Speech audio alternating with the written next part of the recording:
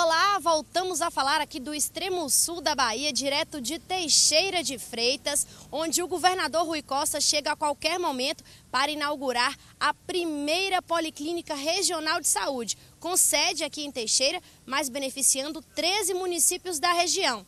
À tarde, o governador participa do ato de instalação do programa Escolas Culturais do CETEP. À noite, ele vai prestigiar a apresentação de uma orquestra no Parque de Exposições da cidade, evento que é aberto ao público. Agora, nós já estamos aqui na Policlínica, que fica na Avenida Getúlio Vargas e conta com uma estrutura muito moderna para dar mais qualidade à saúde dos baianos. A qualquer momento, o governador chega aqui para entregar à população essa unidade que vai contribuir muito muito com acesso a consultas e exames em todo o extremo sul. Lembrando que isso precisa ser agendado previamente através da Secretaria Municipal de Saúde.